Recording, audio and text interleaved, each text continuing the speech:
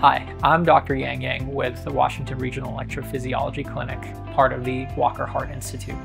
For patients with heart failure, a lot of the times their heart beats dyssynchronously, they're disorganized. The left side and the right side are not beating together.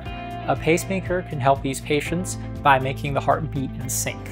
We put the pacemaker on the left side of the chest. There's a vein that goes from the arm under the collarbone into the heart.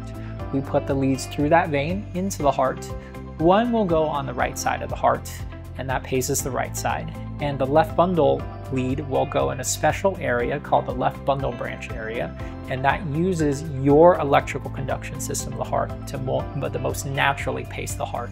People who can benefit the most from left bundle branch area pacing are those with heart failure who are on all the right medications, who still have a low heart function, who still feel very poorly even on the medications with a dyssynchronous heartbeat. Recovery-wise for the procedure is a one-night stay in the hospital.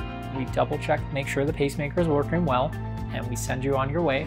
It is one week of keeping the incision dry and clean, and two weeks of making sure the arm does not go above the head. And over time, over the next months, we expect you to start to feel better for once the heart starts beating in synchrony, for you to start walking more, feeling less shortness of breath, and for the heart function to improve gradually. Everyone's health condition is unique, and in order to find out whether you're a candidate, that's a discussion that you need to have with your doctor. To learn more, contact us at the Washington Regional Electrophysiology Clinic.